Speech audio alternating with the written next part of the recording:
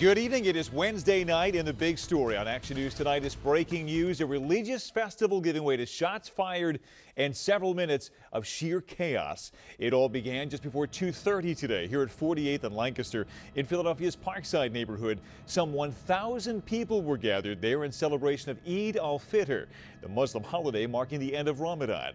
That's when at least four gunmen started shooting, hitting at least two victims and sending scores of people running for their lives. Among those who ran, several young children, separated from their families amid the panic.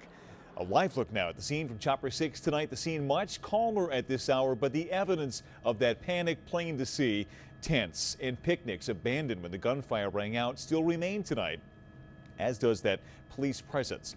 We have got live team coverage here at 6 o'clock tonight. Leland Pinder live at Penn Presbyterian Hospital, where some of the wounded were taken today. Brianna Smith at that Unification Center for Families. But let's begin with Action News reporter Annie McCormick live at that scene in Parkside. Annie, we also know one person was hit by a police wagon as they ran from the scene today. That's right. That child that was hit is expected to be okay. The child hit by the vehicle that you were just referencing, Brian. I am on Lancaster Avenue right now between 47th and 48th Streets, just to give you an idea of how large this scene is, how many blocks it does span. You can see down there. We're going to move the camera over to Clara Muhammad Square. That is where the celebration was happening. You can see there, though, now trash cans knocked over. That's all from when people were running from the gunfire. This is where the majority majority of shell casings have been located so far, and police are still holding this scene. Now, the shooting happened during the end of a Ramadan celebration with more than a thousand people in the square. Police say two groups were firing at each other. It sounded like about 30 shots. What we know right now, Brian, is five people are in custody. That includes four males and one female, all found with guns. They range in ages from 15 to 21. Now, one of the 15 year olds in custody was shot by police, shot in the shoulder. They're in stable condition at Penn Presbyterian Hospital. Police say that teen was armed. The officer who shot the teen secured the teen's weapon and transported the teen to the hospital where he is currently stable. Now, of the injured, two were shot during the actual shooting, including a 22-year-old shot in the stomach and a 16-year-old shot in the hand. Additionally, in the chaos, a 15 year old was hit by a police vehicle and their leg was broken, but they are expected to be okay. Well, Police Commissioner Kevin Bethel spoke to us a short time ago and said the investigation is in the early stages. When we see individuals who are beefing and going at each other, oftentimes they don't care where they see, at, see each other at. And so in this case, clearly they saw something going on in the park. What that was, it caused two factions to start to pull out guns and shoot at each other. The investigation, we'll, we'll be looking into that. And back out here live, we're asked, being asked to move out of the street because they want to open Lancaster Avenue back up at this point. One other thing, additionally, those officers that heard those shots, those 30 shots fired, were told were writing tickets around the area. And additionally, they already had officers here in place as they do whenever there are large gatherings in the city. For now, reporting live in Parkside, Annie McCormick, Channel 6, Action News. Brian. All right, Annie, we'll let you break down and move out of the way. That's a good sign that street is reopening again tonight. Thank you.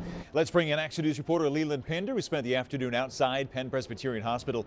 Uh, Leland, the injuries here were gratefully non-life threatening.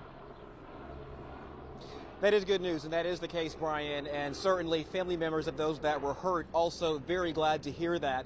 We believe that three people were brought here to Penn Presbyterian for injuries. Two people initially, and then police said later a juvenile showed up uh, here at the hospital. They had been shot in the hand. We do know tonight one of those victims has been identified by their father. Take a look. His name is Nashawn Tafiq Richards. He's in his early 20s. I spoke to his dad as he left the hospital a short time ago. He said his son was shot in the abdomen, but he is alert and he's responsive, and he will likely need surgery. This was an event. This was for the Eid, and um, I don't appreciate everything that happened or whatever. My son was an innocent bystander.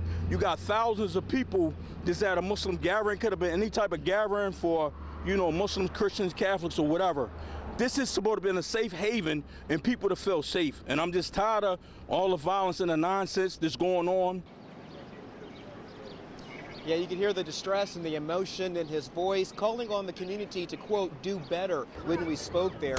Now, earlier in the day, we saw a lot more activity here outside the hospital, including one woman who was hobbling into the ER being held up by two other people. And we also saw family and friends gathering outside here. But at this point, a lot of those people have left the area, as have police. Powelton Avenue was closed for a time, but it's also back open. Of course, though, the investigation still very active, just a short distance away from where I am right now. But for now, live outside Penn Presbyterian, Leland Pinder, Channel 6 Action News. Brian? Okay, Leland, thank you. As we mentioned, several children were separated from their families during the chaos, some as young as two years old. Action News reporter Brianna Smith live at the Family Reunification Center. Brianna, tell us what you saw there today. Well, Brian, a really scary situation.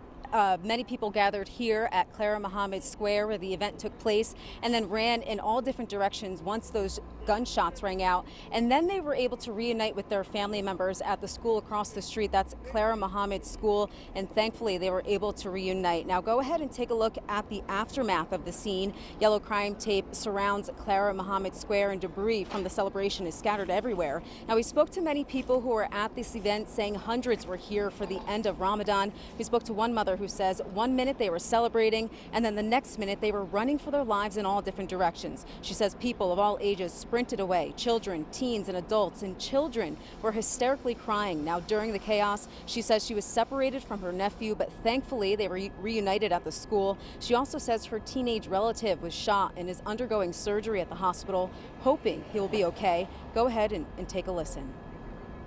And I hope you actually have a speedy recovery, and I'll be seeing you tonight. I love you, and I'm sorry that this happened. I'm, I'm just disgusted. When you sit here and I'm sitting here just replaying the everything, and it's just like it's stuck. It's just, it's stuck with you. It stays with you. What was it like for someone like me who wasn't here when you heard the gunshots ring out? Scary, scary. Uh, you had a lot of screams. You heard babies. You heard actual men people actually screaming and crying because they didn't know if it was about to be their last breath.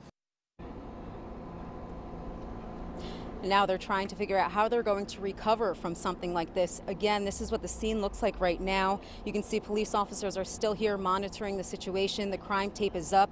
Debris is scattered everywhere. Community members have been out picking up what's left on the ground.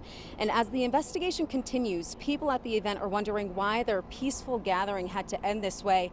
And they say they hope that local leaders come up with a solution to put an end to this ongoing gun violence. Live in Parkside, Brianna Smith, Channel 6 Action News. Brian? Yeah, my goodness, that woman really crystallizes the panic everyone must have felt uh, in those moments. Brianna, thank you for ongoing coverage of this breaking news event into the night tonight. We encourage you to stay with 6abc.com. There you'll find the very latest as we learn it from investigators.